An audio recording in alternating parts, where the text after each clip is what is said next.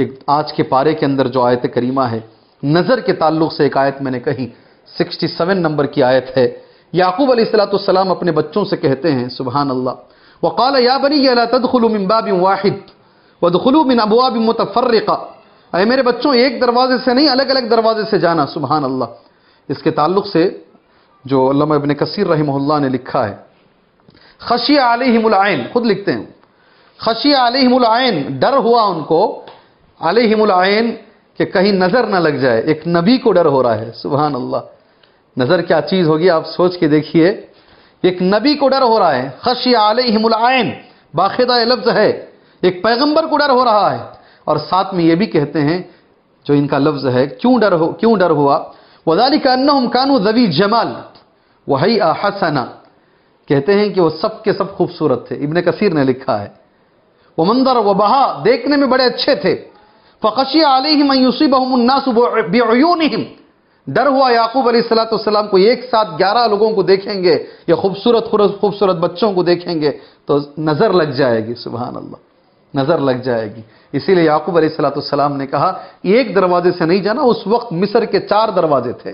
चार अलग अलग दरवाजों से तुम जाना, ये बात अल्लामा इबन कसीर रहमतुल्लाह अली ने पेश की है। ये तो मैंने आपके सामने आयत पढ़ी, मैंने इबन कसीर रहमल्ला की तफसीर आपके सामने पढ़ दिया। अभी कुछ अहादीस जो हमारे नबी ने कहे हैं, नज़र के ताल्लुक से, वो कहूँगा आपके सामने। हदीस ये है इन लाइन लतुद कब्र. नज़र में इतनी ताकत है, नबी फरमाते हैं कि वो इंसान को खबर तक पहुँचा सकती है। नज़र की वजह से आदमी मर सकता है, पहली बात।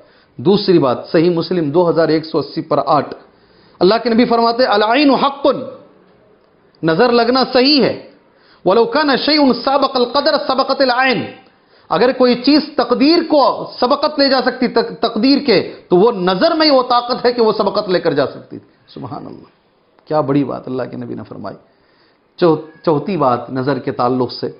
नबी अकरम सल्लल्लाहु अलैहि वसल्लम फरमाते हैं खुद अल्लाह के रसूल सल्लल्लाहु अलैहि वसल्लम दुआ पढ़ते थे नज़र की और फूका करते थे हज़रत हसन को और हज़रत हुसैन को। क्या दुआ थी?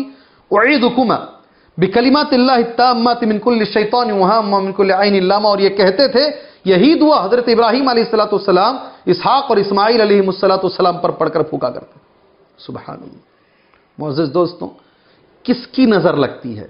बड़ा मसला है। नज़र किसकी लगती है? बात आ रही है, आयत आ रही है, और ऐसी आयतें बार बार नहीं आती हैं। किसकी नज़र लगती है? कुरान मजीद की इस आयत करीमा के अंदर सुबह क्या सिर्फ़ गंदे लोगों की नज़र लगती है? नहीं। नज़र जो है, एक सहाबी की नज़र दूसरे सहाबी को लगी है। नबी के सहाबा से बेहतर कौन है दुनिया? जब इनकी नज़र लगी है, किसी की भी नज़र किसी को भी लग सकती है। खुद इंसान की नज़र इंसान को लग सकती है। इसीलिए जब आदमी खड़े आईने के सामने और अपने आप को बहुत अच्छा नज़र की दुआ पढ़ लो, अपनी अपनी नज़र भी लग सकती है। देखिए, हदीस सुन लीजिए।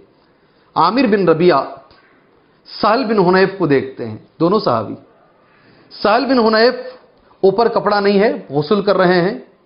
इतना अच्छा बदन है, आमिर बिन रबिया देखते हैं तो वो जैसे ही उनके ऊपर निगाह पड़ती है, नीचे धड़ाम से बेहोश होकर सहल बिन हुनैफ गिर जाते हैं। सिर्फ़ सांस चल रही है, हाथ पैर हलाने भी नहीं हो रहा नज़र में वो ताकत है, अल्लाह अकबर। अल्लाह के रसूल सल्लल्लाहु अलैहि वसल्लम को बताया गया नबी करीम सल्लल्लाहु इब्न माजा की हदीस है, बाबुल आइन तीन हज़ार पाँच सौ, पचास, तीन हज़ार पाँच सौ नौ हदीस का नंबर है। नबी ने फरमाया आलाम यकतुल अहादुकुम अखा। क्यों भाई एक आदमी दूसरे आदमी को कत्ल कर रहा है नज़र के ज़रिए से? इदारा अहादुकुम मिन अखीहि मा युजीबुहु। अगर किसी के अंदर कोई ऐसी चीज़ देखो जो बड़ी अच्छी है, फलियदउ लहु बिल बरका। फ़ौरन जबान से बोलो बारक अल्लाह माशा ये नज़र के ताल्लुक से ये आयात हैं जो हज़रत याकूब अलैहिस्सलाम ने अपने बच्चों को कहा था, उसकी रोशनी में हमारे लिए नबी करीम सल्लल्लाहु अलैहि वसल्लम ने यह नसीहत की है।